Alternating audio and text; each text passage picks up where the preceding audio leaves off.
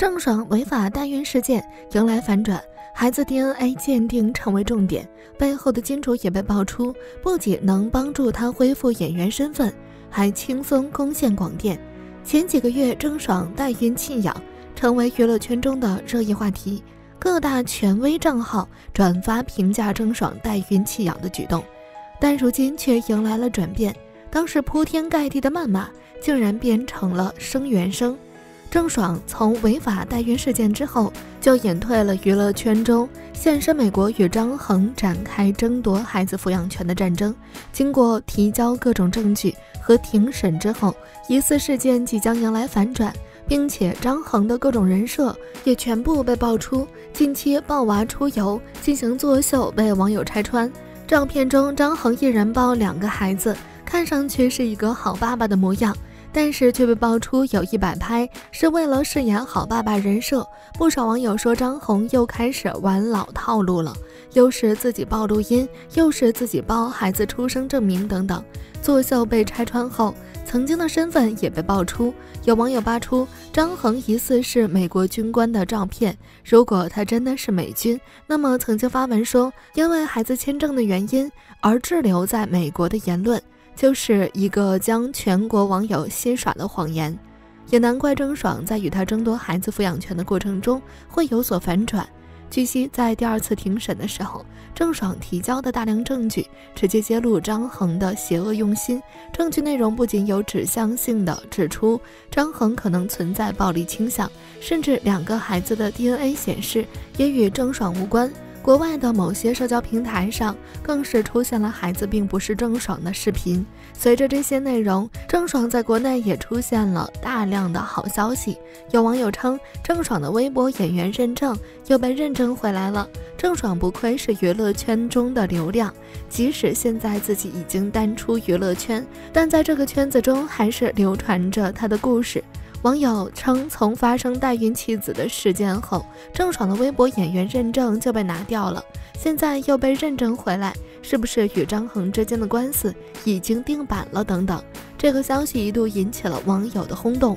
不过，还是有很多人认为不应该让郑爽再回到娱乐圈，并且有人表示，如果郑爽不被封杀至少三年的话，那么违法代孕在以后就真的屡禁不止了。虽然事情的发展我们还不知道会是怎样的走向，但郑爽的走向好像已经有了新的转机。不仅有人将要为郑爽出一本名为《你好，郑爽》的书，甚至还要将其拍成电影。还有人称已经开始筹备让郑爽作为女一号的制片工作了。郑爽果真如传言那样，姐虽然不在江湖，但江湖一直都有姐的传说。虽然郑爽背后的资本金主到底是谁，我们不知道，但随着这些传言，又有网友爆出了疑似金主的金主。他就是京圈老炮冯小刚。冯小刚在娱乐圈中的地位可是众人无法撼动的。但郑爽在没有人搭路的情况下，竟然成为了冯小刚自封的朋友。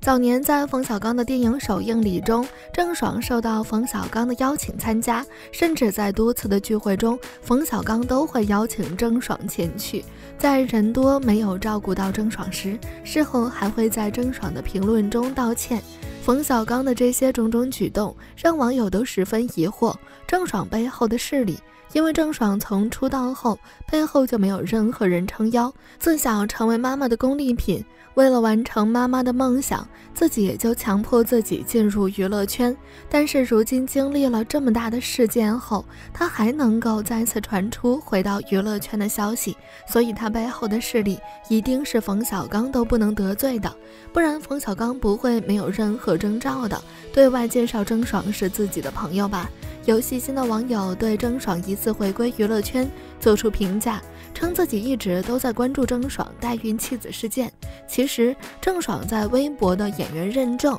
一直都没有被拿掉。这些文章中所附带的照片，肯定是某些营销号为了博眼球所 P 的图，并且郑爽被封杀事件也是外界的传言。因为只有权威账号对此发声，广电并没有承认对郑爽进行封杀。随后，这个网友并附上了疑似广电的公开告知书，内容中显示国家广播电影电视总局封杀演员郑爽的文件。该信息不存在，原因是我局没有制作该信息。因为如今广电只对吸毒、嫖娼等违法犯罪行为者进行封杀，所以就此也传出郑爽被停滞的四部电视剧将要迎来开播的消息，甚至还有人称郑爽可能会在韩国出道。她与韩国艺人李钟硕主演的《翡翠恋人》在韩国得到好的反响，所以就传出了她可能会进军韩国娱乐圈。不过，以郑爽的性格，在韩国出道到的话，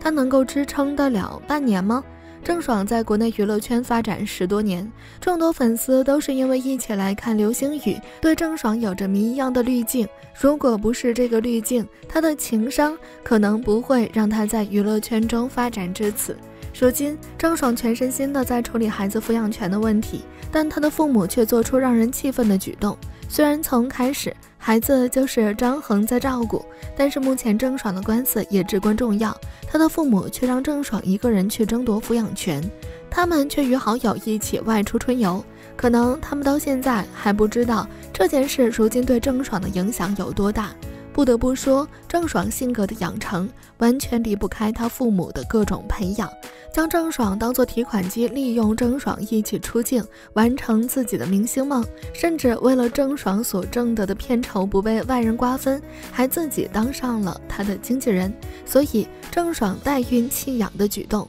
不能说她的父母和张恒没有错，也不能说错都在郑爽一个人身上。近期有专家人士分析郑爽争夺抚养权的信息称，这场抚养权案件不管最后是谁胜诉，但张恒都能够得到一笔不菲的费用。虽然郑爽表面上看着胜率极高，毕竟现在结果还没有出来，没有人知道中途会出现怎么样的转折。如果最后是两人一起抚养孩子的话，那么两人的纠缠可能永远都牵扯不断了。事情的真相只有他们当事人清楚，相信法律最终的结果是最公平的。如果孩子的 DNA 真的与郑爽无关，他背后的金主肯定会全力扶持他重新站起来。大家认为，就目前的情况来看，孩子不是他的可能性大吗？